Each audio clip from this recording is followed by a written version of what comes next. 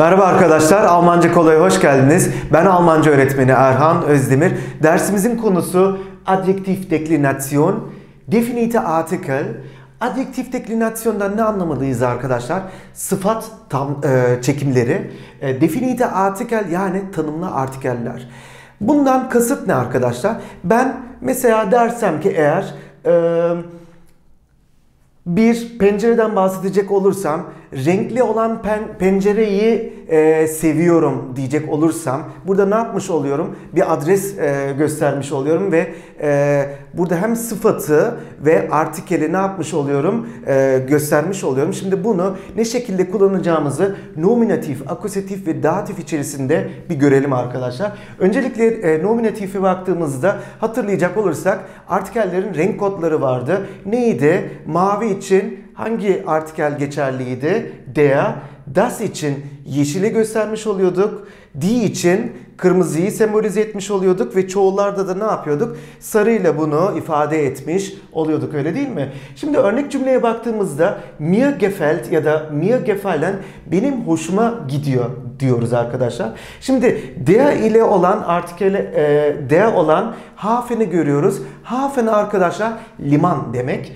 Berühmt, berühmt sıfatına baktığımızda bu da ünlü, meşhur anlamında arkadaşlar.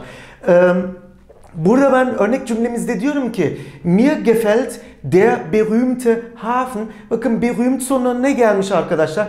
E gelmiş. Benim e, ünlü olan liman, ünlü liman benim hoşuma gidiyor derken demek ki ne diyorum? Mir gefällt der berühmte Hafen demiş oluyorum. Şimdi das artikeliyle ilgili olan e, nesneye baktığımızda das Fenster pencere demek arkadaşlar. Bunt renkler konusunda görmüştük. Bunt neydi? Renkli demekti.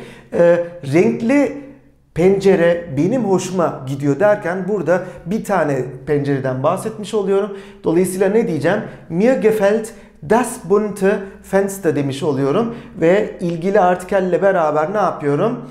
Ee, nesneyi kullanıyorum ve sonuna ne getiriyorum? E getirmiş oluyorum. Die artikelli e, die kamerayı görüyoruz arkadaşlar. Neu neydi? Yeni demekti. Bakın sıfatın sonuna ne gelmiş? E gelmiş. Ne diyeceğim şimdi? Diyeceğim ki yeni olan kamera hoşuma gidiyor derken ne diyeceğim? Mir gefällt die neue kamera demiş olacağım. Demek ki die kamera artikeli geliyor. Sıfatın sonuna ne gelmiş oluyor? E gelmiş oluyor. Çoğullara baktığımızda die Leute insanlar demek arkadaşlar. Ancak burada dikkat edin e, bütün sıfatların sonuna e gelirken buraya ne gelmiş? en gelmiş. Dolayısıyla nasıl bir çıkarıma varabiliriz? En demek ki çoğullarda kullanılıyormuş bu sonlandırıcı. Bu sefer gefällt demeyeceğim de birden çok olduğu için ne diyeceğim? Gefallen diyeceğim. E, net neydi arkadaşlar? Sempatik demekti. Sempatik insanlar hoşuma gidiyor derken mir gefallen die netten Leute demiş olacağım. Dilerseniz bu nominatif haldeki e, örnek cümleleri tekrarlayalım. Mir gefällt der berühmte Hafen. Mir gefällt der berühmte Hafen. Mir gefällt das bunte Fenster. Mir gefällt das bunte Fenster. Mir gefällt die neue Kamera. Mir gefällt die neue Kamera. Mir gefallen die netten Leute. Mir gefallen die netten Leute. Şimdi akuzatife bakıyoruz arkadaşlar. Akusatiflik neydi? Bunu akusatifle ilgili dersimizde ayrıntılı şekilde görmüştük. İsmin iyi haliydi. Peki burada çok ufak bir dönüşüm oluyordu. Ne oluyordu arkadaşlar? D artikeli neyi dönüşüyordu? D'ine dönüşüyordu. Diğer artikeller olağan şekilde kalıyordu. Olduğu gibi kalıyordu öyle değil mi? Dolayısıyla şimdi gene aynı örneklerle gidecek olursak bu sefer örnek cümlemize baktığımızda ich finde boşluk am besten. Bakın akusatiflikle ilgili ne demiştik? Haben, suchen, finden, essen, trinken gibi fiilleri gördüğümüzde yuvarlak içerisine alıyoruz. Ne oluyordu? İsmin iyi hali. Yani akusatiflik söz konusuydu. Burada da aynı şey söz konusu. Şimdi diyeceğim ki ich finde buluyorum am besten evet bunu e, superlatif, e, komparatif ve superlatif konusunda da ayrıntılı görmüştük. En çok değil mi? En en e, anlamında superlatif e, söz konusuydu. E, ne demiş oluyorum şimdi buraya baktığımızda? Der dene dönüşmüş. Ich finde den alten Hafen am besten yani en iyi bulduğum ne? Eski liman. E, e, diyelim ki bir turistik geziye çıktık ve diyoruz ki benim en hoşuma giden şey ne oldu? Eski liman en çok hoşuma giden şey oldu derken demek ki ne diyeceğim? Ich finde den alten Hafen am besten diyeceğim. Bakın burada da bu sefer ne olmuş arkadaşlar? E, sıfatın sonuna en gelmiş. Halbuki akusatiflik e, enken nominatiflikte ne oluyormuş? E oluyormuş. Demek ki burada en ile sonlandırmış oluyorum. Aynı örnekle devam edecek olursak e, das Fenster pencere. Şimdi diyeceğim ki e, pencereyi renkli olan pencereyi en iyi buldum. Yani en çok hoşuma bu gitti diyecek olursam ne diyeceğim? Ich finde das bunte Fenster am besten. Yani benim en hoşuma giden pencere oldu. Bakın burada da ne olmuş arkadaşlar? Das bunte sonu e ile tamamlanmış. Neden? Artikeli das olduğundan dolayı. Şimdi buraya baktığımızda die Kamera, die neue Kamera Yeni olan kamera en çok o benim hoşuma gitti diyecek olursam ne diyeceğim? Ich finde die neue Kamera am besten diyeceğim. Yani benim en çok hoşuma giden yeni kamera oldu gibi bir anlam çıkmış oluyor. Buraya baktığımızda arkadaşlar die netten Leute e, ne olacak bu da? Sempatik olan insanlar demiş oluyorum. Dolayısıyla benim en çok hoşuma giden sempatik insanlar oldu derken ich finde die netten Leute am besten bakın burada da e, çoğul olduğundan dolayı en gelmiş ancak die de tekil olduğunda ne oluyormuş? Demek ki e oluyormuş. Şimdi bunlara baktığımızda arkadaşlar sonlandırıcılara baktığımızda ne oluyormuş demek ki? E, der artikeli akusatiflikte den ve sıfatın sonuna ne geliyor? en geliyor. Das içinde ne oluyor arkadaşlar? Sıfatın sonuna e gelmiş oluyor. Di artikelinde sıfatın sonuna e geliyor. Tabi bu eğer tekilse çoğullarda da ne oluyor arkadaşlar? Di ne? Di artikeli ve sıfatın sonuna en gelmiş oluyor. Evet dilerseniz arkadaşlar akusatiflikle ilgili bu öğrendiklerimizi doğru telaffuzlarıyla tekrarlayalım. Ich finde den alten Hafen am besten? Ich finde den alten Hafen am besten. Ich finde das bunte Fenster am besten. Ich finde das bunte Fenster am besten. Ich finde die neue Kamera am besten. Ich finde die neue Kamera am besten. Ich finde die netten Leute am besten. Ich finde die netten Leute am besten. Şimdi datife geçelim arkadaşlar.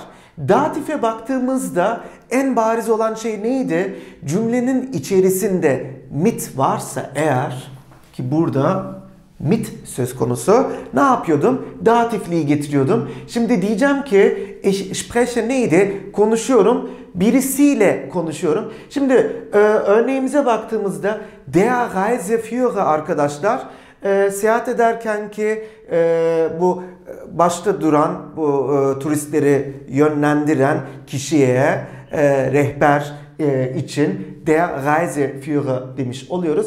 Net neydi? Sempatik demekti.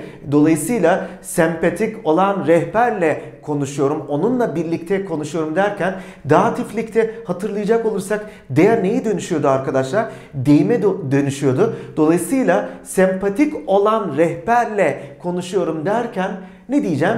Ich spreche mit dem netten Reiseführer. Bakın sıfatın sonuna ne gelmiş arkadaşlar? En gelmiş. E, artikel demle beraber demek ki dem netten Reiseführer ich spreche mit dem netten Reiseführer demiş oluyorum.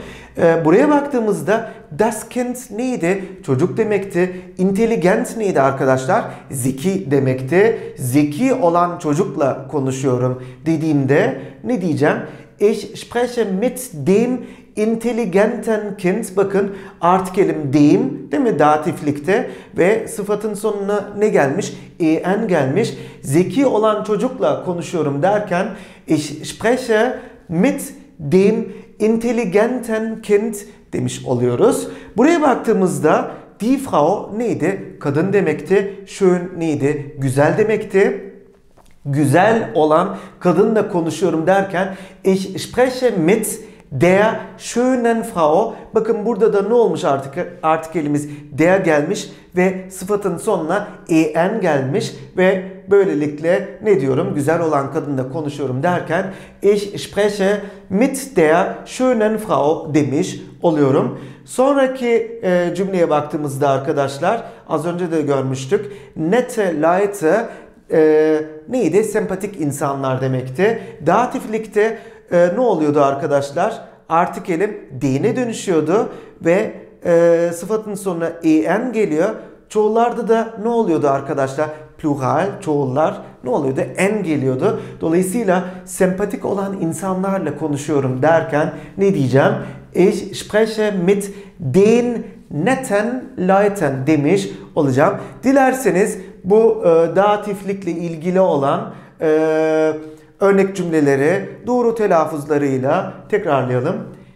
Ich spreche mit dem netten Reiseführer. Ich spreche mit dem netten Reiseführer. Ich spreche mit dem intelligenten Kind. Ich spreche mit dem intelligenten Kind. Ich spreche mit der schönen Frau. Ich spreche mit der schönen Frau. Ich spreche mit den netten Leuten. Ich spreche mit den netten Leuten. Şimdi arkadaşlar dilerseniz kıyaslayarak gidelim. Şöyle bir tekrarlamış olacağız bu sayede. Şimdi nominatif, akusatif ve datiflikte demek ki ne yapıyorum? Nominatif neydi? Yalın halde. Akusatif neydi? İsmin iyi haliydi. Datiflik içinde ne diyebilirdik?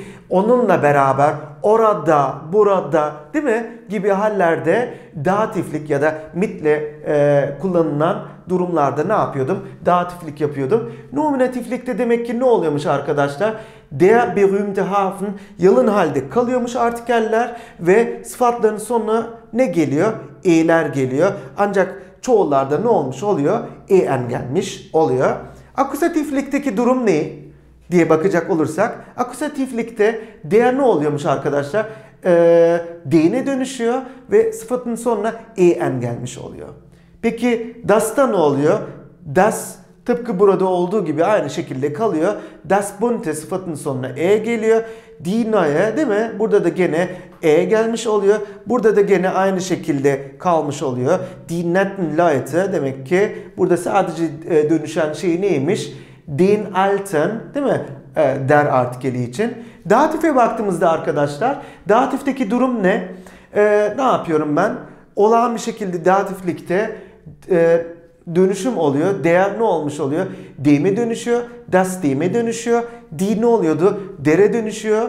E, di çoğullar da dine dönüşmüş oluyor. Bunları zaten datif konusunda, datif dersinde ayrıntılı görmüştük. Ne oluyor ancak? Şöyle bir farkla sıfatların sonuna ne geliyor? Datiflikte en gelmiş oluyor. Şimdi dilerseniz bu öğrenmiş olduklarımızı örnek cümlelerle pekiştirelim. Evet arkadaşlar şimdi de nominatif cümleleri bir inceleyelim. Ee, buraya baktığımızda mir gefällt benim hoşuma gidiyor demekti. Der alte Marktplatz bakın der Marktplatz pazar yeri demek arkadaşlar.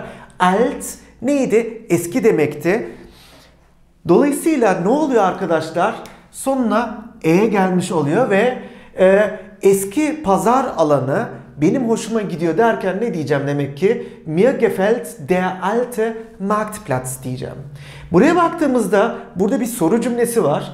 Gefällt dir senin hoşuna gidiyor mu? Gefällt dir die moderne Hose Die moderne Hose, die Hose neydi arkadaşlar? Die Hose pantolon demekti. Die moderne adı üstünde modern olan pantolon. Bakın sıfatın sonuna ne gelmiş? E gelmiş. Modern olan pantolon hoşuna gidiyor mu derken gefällt dir die moderne Hose değil mi? Burada belli bir pantolondan bahsediyorum ve diyorum ki o pantolon e, modern olan pantolon senin hoşuna gidiyor mu demiş oluyorum. Demek ki bunun sonuna ne geliyormuş? E geliyormuş. Buraya baktığımızda ihr gefällt burada bir kadın söz konusu. Onun hoşuna gidiyor derken ihr gefällt das schwarze Kleid. Das Kleid e, neydi arkadaşlar? Elbise demekti. Dolayısıyla Burada ne olmuş arkadaşlar? Sonuna e gelmiş. Das schwarze Kleid demek ki siyah e, elbise demek. Onun hoşuna gidiyor derken ne diyeceğiz demek ki? Ihr gefällt das schwarze Kleid dememiz gerekiyor. Buraya baktığımızda arkadaşlar nominatif hal olduğundan dolayı sind de e, yani sein fiili de aynı zamanda nominatif bir e, durum söz konusu. Mesela diyeceğim ki buradaki örnekten e, yola çıkaraktan das sind die großen Lampen bunlar e, büyük olan lambalar demiş oluyorum. Burada da ne oluyor arkadaşlar? Çoğularda ne oluyordu? en gelmiş oluyordu. Bunlar e, büyük olan lambalar, lambalar demiş oluyorum. Dilerseniz bu e, örnek cümleleri doğru telaffuzlarıyla tekrarlayalım. Mir gefällt der alte Marktplatz. Mir gefällt der alte Marktplatz. Gefällt dir die moderne Hose? Gefällt dir die moderne Hose? Ihr gefällt das schwarze Kleid. Ihr gefällt das schwarze Kleid. Das sind die großen Lampen.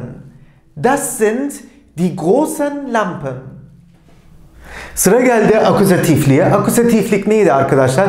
İsmin i haliydi. İsmin i halinde cümlenin içerisinde örneğin finden varsa, suchen varsa, möchten varsa bu neyi gerektiriyordu? Ee, akuzatifliği yani ismin i halini gerektiriyordu. Birinci cümleye baktığımızda arkadaşlar wir finden neydi bu? Bulmak.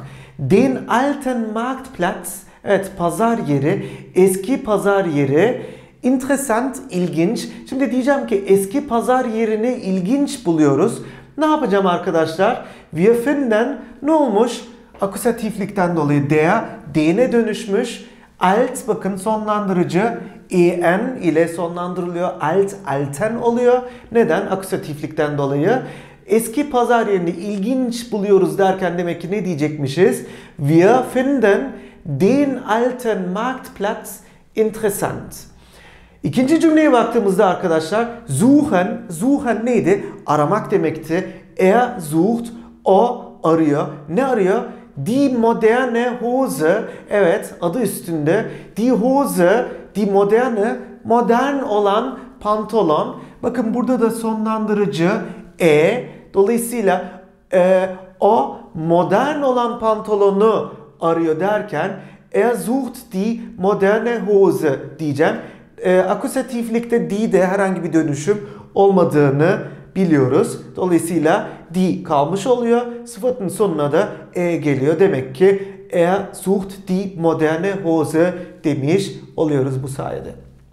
Üçüncü cümleye baktığımızda arkadaşlar sie möchte, möchte neydi? Möchten istemek demekti. Sie çekimlenmiş değil mi? Burada bir kadın söz konusu. O istiyor.